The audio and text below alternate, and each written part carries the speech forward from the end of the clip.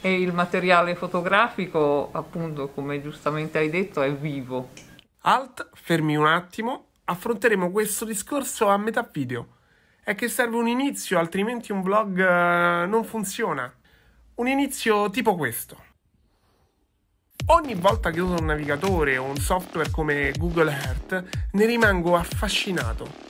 Quando ho iniziato a guidare, o conoscevi la strada o dovevi utilizzare un tutto città. Oggi invece scrivi il nome della via in cui vuoi andare su un programma o un'app e in men che non si dica anche voi qui?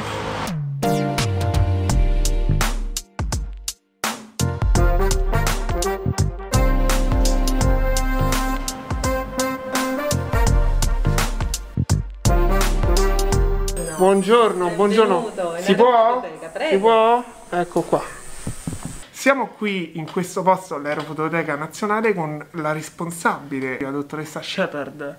Dottoressa, di che cosa vi occupate qui? L'Aerofototeca Nazionale è un grande archivio storico di fotografie aeree dell'Italia, ma non solo, e eh, si occupa non solo di eh, valorizzare e preservare il suo patrimonio, Uh, ma anche di renderlo noto e metterlo a disposizione dei cittadini come ogni archivio dello Stato fa per, per sua natura. La fotografia aerea che conserviamo qua eh, comincia con proprio gli esordi della fotografia aerea in Italia, quindi alla fine dell'Ottocento, e le ultime foto sono eh, di pochi anni fa, come questa alle mie spalle, o altre che sono del 2015-2016. Quindi copriamo più di un secolo di fotografia aerea in Italia. L'aerofototeca è anche il più grande archivio civile di fotografia aerea in Italia. Gli altri due sono militari, infatti la fotografia aerea per sua natura è sempre stata molto eh, fatta e gestita dal mondo militare e sono l'archivio dell'aeronautica militare e quello dell'Istituto Geografico Militare di Firenze. Quando noi pensiamo ad una ripresa dall'alto,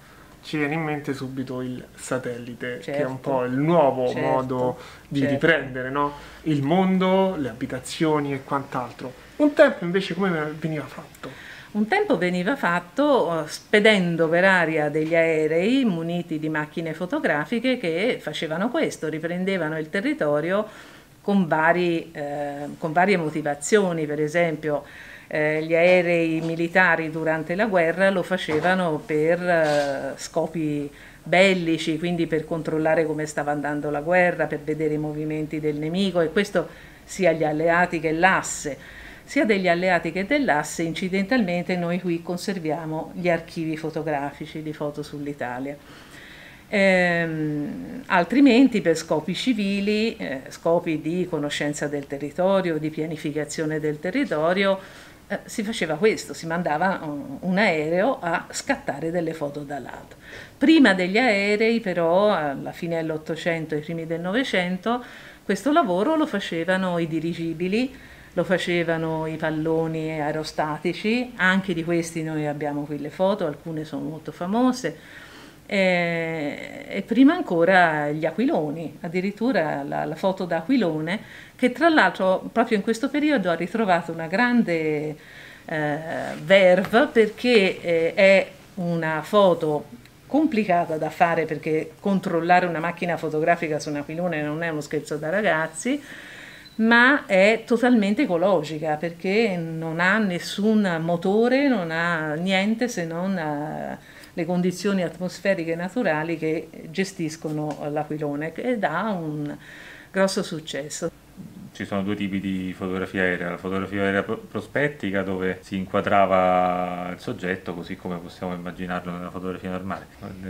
Nell'ortofotografia, cioè quella ripresa fotografia aerea naturale, si lavorava fotografando il territorio in strisciate, così appunto come lavora anche un satellite, e venivano inquadrate porzioni di territorio che interessavano per il loro progetto strategico. Uh-huh. Quindi abbiamo da una parte mongolfiere, da una parte eh, dirigibili, aerei, aquiloni E oggi invece possiamo parlare di satelliti, Oggi droni, immagino satelliti. anche. Noi in aerofototeca non abbiamo quasi niente di, di immagini satellitari, molto poco. Eh, diciamo da quando è partito il satellite noi siamo diventati un archivio storico, mentre prima l'aerofototeca era un archivio all'avanguardia perché usava questo nuovo mezzo della fotografia d'aereo, con l'arrivo del satellite si è trasformata in un archivio storico e forse ha anche acquistato più importanza perché chiunque lavori con le foto satellitari in- inevitabilmente si chiede cosa c'era prima. Ecco, il prima siamo noi. Quindi per sapere una fetta di territorio visibile tranquillamente oggi su Google Earth, per sapere cosa c'era prima, serve un archivio storico. E l'archivio storico di foto aeree in Italia è, è l'aerofototeca. Io, avendo avuto l'onore di vedere l'archivio vero e proprio, è come se fossi entrato all'interno del- Certo. di un dispositivo digitale e l'avessi visto reale. E ne ho sentito gli odori, eh, ne ho toccato le essenze ed è un qualche cosa di magnifico. Chiaramente è un qualche cosa di vivo, se possiamo dire. Essendo qualcosa di vivo, essendo qualcosa anche che comincia a avere un'età insomma, Eh sì. importante, va anche monitorato ed è per questo che un canale che tratta di microbiologia oggi è qui. E il materiale fotografico, appunto, come giustamente hai detto, è vivo, è quindi appetibile dalle specie microbiologiche, anche dagli insetti. Nel corso degli anni, ovviamente sapendo che determinate specie microbiologiche, determinate specie viventi hanno un loro habitat e un loro range di microclima in cui sono particolarmente attive, a questo punto abbiamo eh, monitorato il, eh, gli ambienti in modo da eh, poter conoscere in maniera puntuale, sempre e su lungo periodo, perché un monitoraggio ha significato solo se raccoglie i dati di lunghi periodi eh, dovuti alle escursioni e giornaliere ma anche stagionali. Di conseguenza abbiamo messo su un impianto di rilevamento microclimatico nei vari ambienti che misura in tempo praticamente reale eh, i valori di, e di temperatura e di umidità relativa.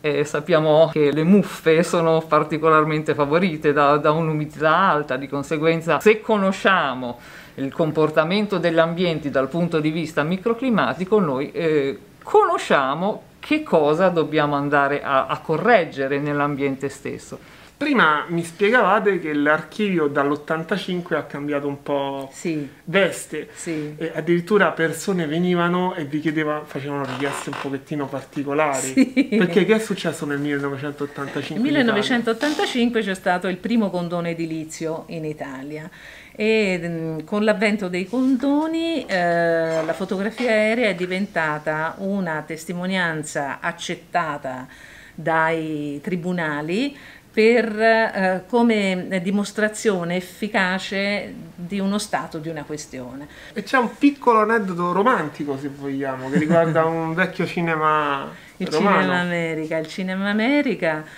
che è a Trastevere e che da anni sta attraversando problemi molto seri per la, la sopravvivenza, per la gestione che vede tantissimi giovani molto appassionati che si stanno veramente dando tanto da fare per salvarlo perché tra l'altro è una istituzione storica della Rione di Trastevere, anche di Roma. Eh, anni fa una giovane che faceva parte di questo gruppo di difesa del Cinema America è venuta da noi per cercare delle foto che ne attestassero lo Stato negli anni, mi pare, 60, perché tra le tante questioni che c'erano c'era appunto quello di un possibile abuso edilizio. E, invece le nostre foto gli hanno dato una mano a risolvere almeno questa questione, che è una cosa che ovviamente ci ha fatto a tutti molto piacere. Stupendo. È un po' no, il nonno, una Eh, foto vecchia certo, che aiuta il, che aiuta il nipote, il- a, esattamente. a non distruggere però un altro nonno perché il cinema è altrettanto vecchio. Mi ha colpito il fatto di aver visto delle fotografie della regina Elisabetta, ma non c'era nella fotografia la regina Elisabetta, proprio erano di proprietà della regina. Sono di Sono proprietà le della proprietà regina. della regina perché? Perché sono le foto cosiddette RAF, che sono uno dei pezzi di resistenza di questo archivio, sono le foto una parte foto, delle foto della seconda guerra mondiale conservate qua, che raffigurano il territorio italiano, e questa parte è di proprietà dello Stato britannico, lo Stato britannico e quindi è della corona. Eh, queste foto stanno qui in aerofototeca dal 1965 con un accordo trentennale che poi è stato rinnovato per altri 30 anni eh, e quindi noi le conserviamo per lo Stato inglese, le, abbiamo la, la, possibilità di fare divulgazione, di pubblicarle, di usarle, però eh, non sono di proprietà dello Stato italiano, sono in deposito. Io vi ringrazio per avermi ospitato. Me ne vado da questo posto con la sensazione di essere entrato per davvero in un mega hard disk pieno di immagini di pezzetti d'Italia fotografati dall'alto in diversi anni. Me ne vado entusiasta del fatto che un passato del genere non è dimenticato, ma rimane ben custodito. Ed è sicuramente grazie a questo passato che oggi possiamo permetterci un presente sempre più veloce, sempre più preciso, sempre più futuro.